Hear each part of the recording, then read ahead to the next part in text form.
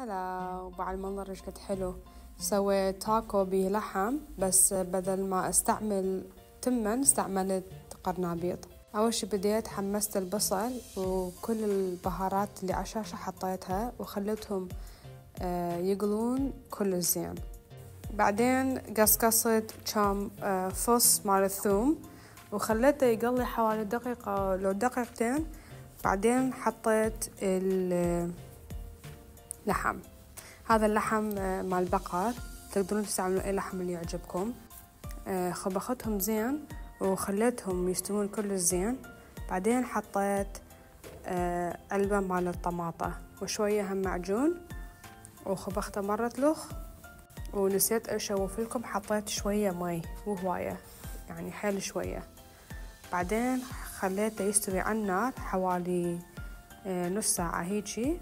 بس شفتوا هيجي صار معناته استوى يمكم وايا سهل وهنا يحطون تمن مستوي. أنا ما حطيت حطيت آه، قرنابيط.